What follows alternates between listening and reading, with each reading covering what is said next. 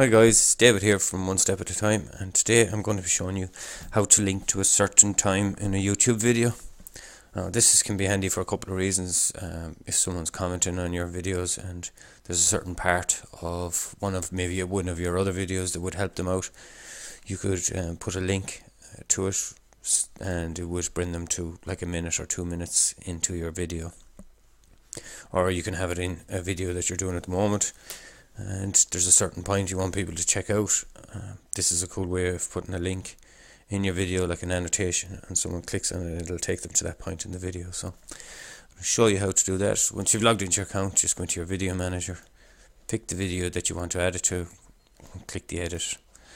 I've just picked this how to make an outro slate and down here is your URL for your video. Just copy that.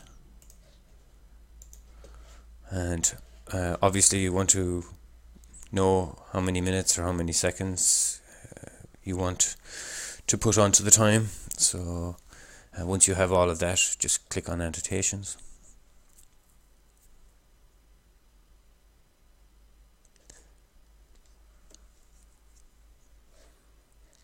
I'll just pause this for a second. And then within here just click on add annotations. And I usually just stick in a speech bubble because it allows you to add a link. Title won't. So once you're happy just say uh, click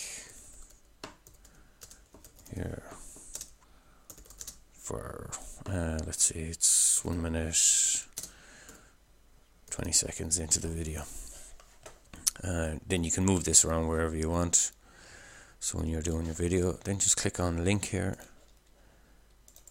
Uh, paste in your URL of that video and then at the end all you have to do is put hash t equals so it's just hash time equals and then if it's 40 seconds 20 seconds whatever the case may be you just put in 20s for seconds and if you want one minute just put in m after the minutes and 20 seconds and then that will directly link. So if you click preview link.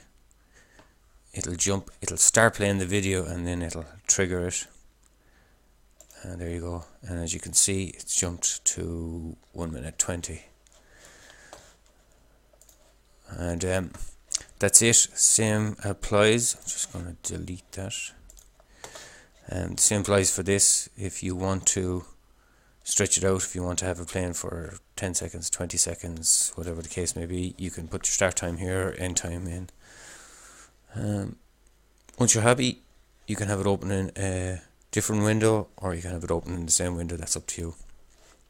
Just click apply changes and you'll have your annotation. So I hope you liked the video guys. If you do hit the like button subscribe if you like and I will see you in the next video. Cheers bye